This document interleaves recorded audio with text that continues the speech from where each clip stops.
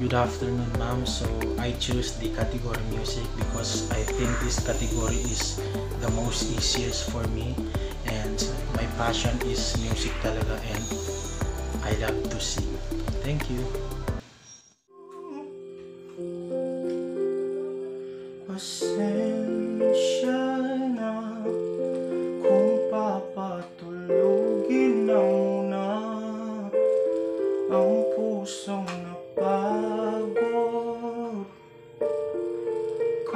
Kakahintay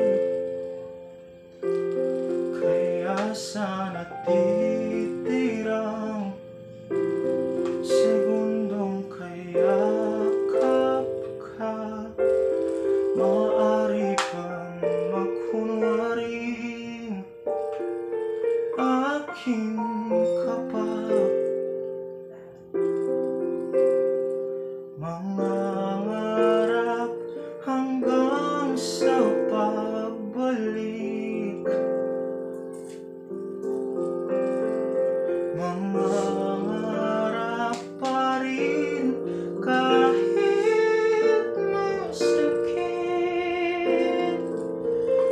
look us across.